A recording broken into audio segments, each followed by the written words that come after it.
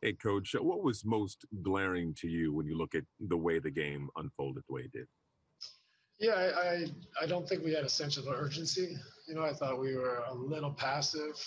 Uh, you know, I, I don't want to say we didn't play hard, but it didn't feel like, you know, we put the emphasis on each possession that was necessary. And, you know, we talked about it before the game. Teams are going to give us their best shot. You know, we're going to have a target on our back, and uh, we got to rise to the occasion. On nights when, you know, you think you maybe are a better team, we're going to get a team that's much better than they are um, the previous night because they, they see the numbers, the names on the back of the jersey, and they're going to rise to the occasion. Brian Lewis, of the New York Post.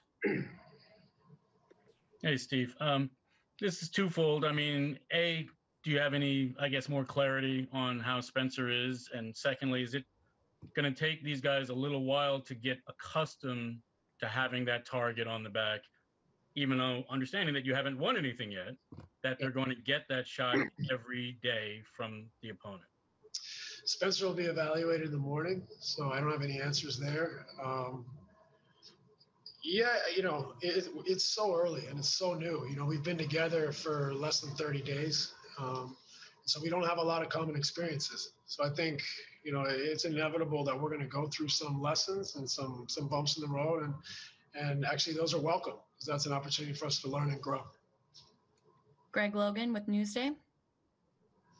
Uh, Steve, uh, you've been so good on defense, uh, but tonight uh, they outscored you in the paint 64 to 24. What did you see as the problem on the interior tonight?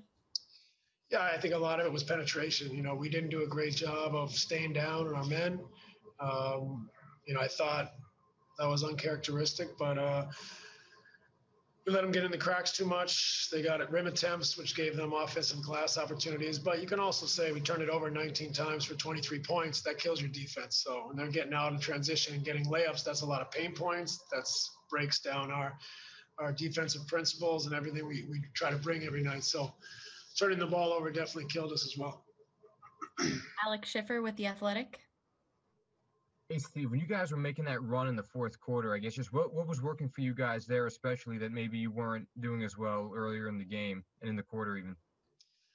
Well, we got some stops. You know, we put we put a, put together a run of stops, which obviously was important because in the third quarter we you know we gave up so many so many points that uh, we had to improve our defense. Put together some stops, and then we made some shots, made some threes. TLC made threes, Kai made a couple, Kevin made a bucket or two. So we uh, we had a good run, but it was too little, too late. I think we got to obviously take a look at ourselves and say we left it a little late tonight with our intensity. And uh, our guys are our guys are winners. They they fight, and they this is the first day where there's been any sort of little letdown, whether it's practice, preseason games, or regular season. So um, we'll learn from it and we'll get better.